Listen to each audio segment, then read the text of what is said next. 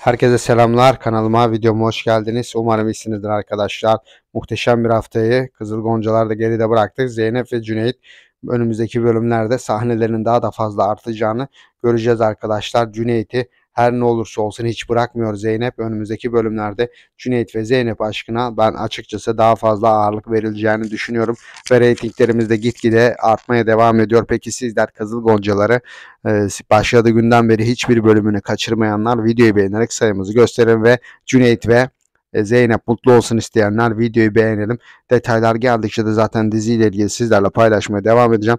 Dediğim gibi arkadaşlar e, Cüneyt'in en büyük destekçisi Zeynep olacak ve dediğim gibi önümüzdeki haftalarda daha fazla Zeynep ve Cüneyt aşkına ağırlık verileceğini düşünüyorum. Detaylar geldikçe de zaten diziyle ilgili buradan sizlerle paylaşmaya çalışacağım. Bir sonraki videomuzda görüşürüz. Sağlıcakla kalın.